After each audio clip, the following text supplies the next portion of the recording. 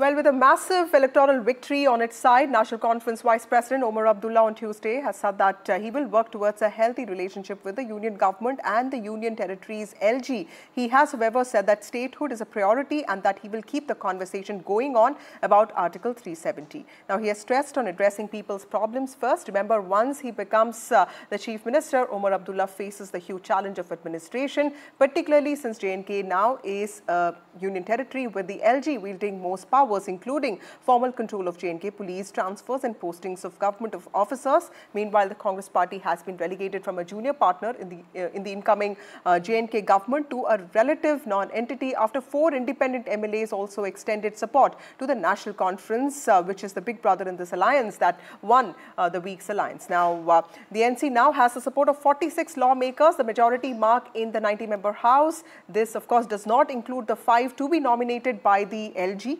Um, now, the question that we're asking is LG or Chief Minister, who is going to wield the real power in J&K and what kind of uh, balancing act will the new Chief Minister Omar Abdullah have to play uh, to just do his job as the head of the Union Territory? That's what we will talk about now. We'll be joined by political guests, but uh, Neerja Chaudhary first. Uh, Ma'am, tell us, uh, you know, what exactly, how exactly do you see Omar Abdullah sort of uh, uh, countering or in some, some ways navigating this challenge because his manifesto in many ways is uh, against a lot of things that the BJP stands for, but he has uh, struck a very cordial note. He has said that he is going to work, he's going to have a proper working relationship with the, with the LG. But what kind of challenges do you see him facing in the next few months?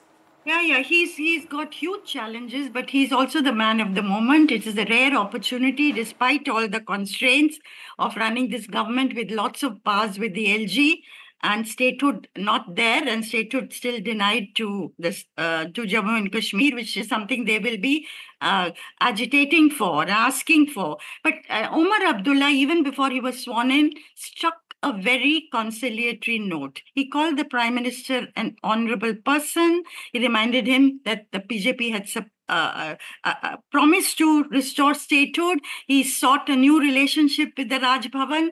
So, uh, and he also talked about, you know, in, uh, uh, including Jammu as uh, stakeholders in the running of the government because the BJP has emerged as the party that represents Jammu and the NC as the party rep representing the valley.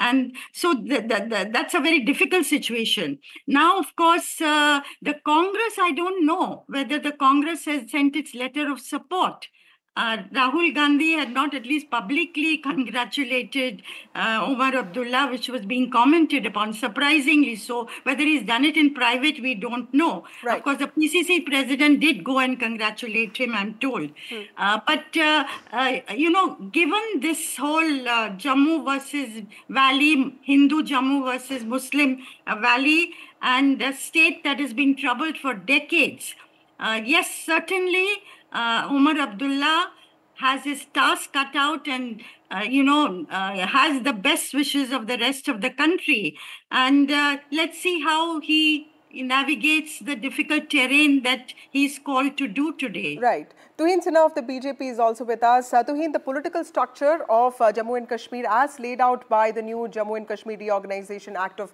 2019, uh, uh, you know, highlights some very significant powers that's vested in the LG. You know, it makes him uh, quite powerful. How do you see, uh, and also the BJP and the centre have faced criticism when it comes to some governors in many states, you know, over their alleged excesses or for that matter, you know, over asserting themselves in matters of governance. Uh, do you think the center and, and for that matter the LG will also have to be a little more careful because this is NC and it has shown a lot of predominance when it comes to electoral successes. It has 46 MLAs now. Well, in Jammu and Kashmir, these changes were required to really improve the national security situation because we have seen that both the parties over there, in fact, the Congress also in Jammu and Kashmir, have had a soft corner towards extremists.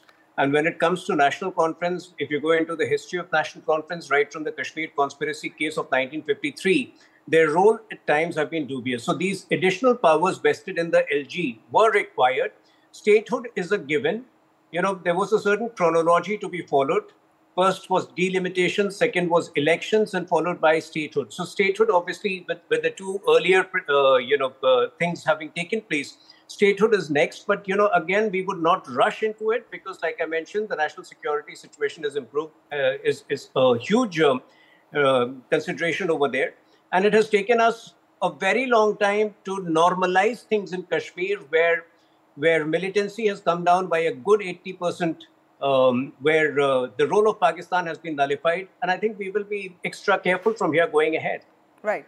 Ifra Jan of NC is also with us. Ifra, thank you for joining us. From 2009 to January 2015, Omar Abdullah led J&K as the chief minister, but we all saw that he had to bear the brunt of protests across Kashmir, and this was over uh, the spate of civilian killings in the valley. Uh, the party, we saw that, uh, saw faced a rout in the following elections in which the B PDP and the BJP coalition took over. So clearly, there are electoral and political compulsions uh, uh, that Omar Abdullah faces to perform as uh, the chief minister, but he's also in some ways uh, committed uh, to the statehood. How do you see the new chief minister navigating uh, both of this, maintaining a cordial working relationship with the center that's important to ensure security of J&K and also to his political promises to the people of Jammu and Kashmir? Uh, first of all, Vasundhara, thank you for calling me to the show. If you look at the mandate that the National Conference has gotten, it has been decisive. Out of 90 seats, I mean, if you look at this, out of 90 seats in Jammu and Kashmir, 60 were taken by those uh, MLAs who had clearly not accepted the abrogation of Article 370. So this mandate was not a mandate for National Conference, only for National Conference. This mandate was decisively a mandate against the abrogation of Article 370, against the abrogation of Article 35A, and specifically against con converting a full-fledged state into a union territory.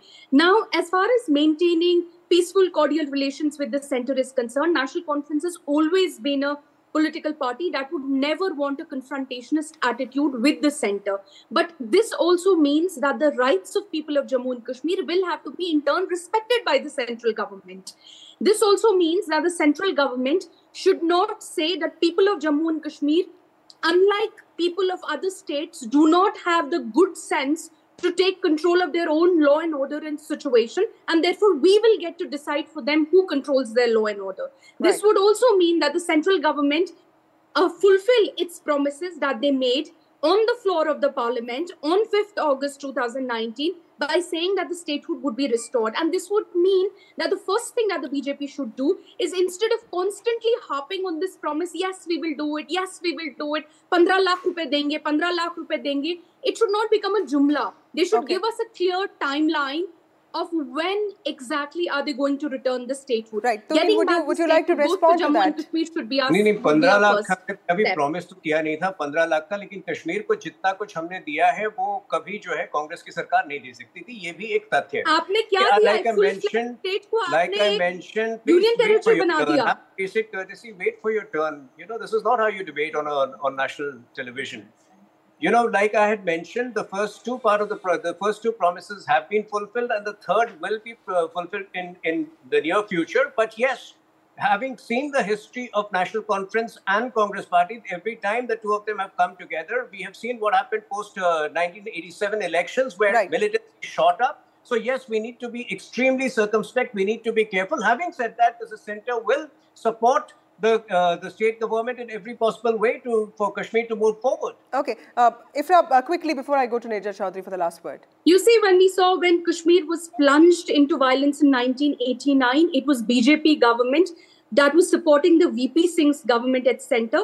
and they dismissed the National Conference government in Jammu and Kashmir. So this person needs the BJP spokesperson really needs to read up his okay, facts. Uh, last word Number from Neerja Chaudhary, ma'am. No, National Conference did, was also the first party to file did, uh, the petition in the Supreme Court challenging the validity of uh, Article 370. Do you see that becoming the center of governance, or it's going to be pragmatic politics uh, uh, from the side of NC? What do you I think, think is going from, to happen? From the early comments that have been made by Dr. Farooq Abdullah, but more important by uh, Omar Abdullah, is that they're going, not going to concentrate on Article 370. They're going to concentrate on the restoration of the, uh, statehood to Jammu and Kashmir and to get on with development issues. At least those are the notes that have struck.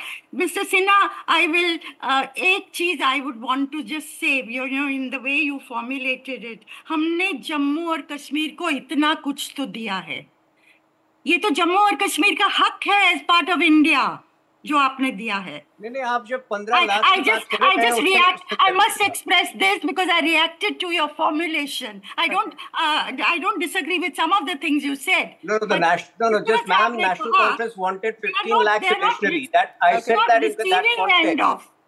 मतलब उनको वो मांग रहे हैं उनको दिया I mean I that's not a formulation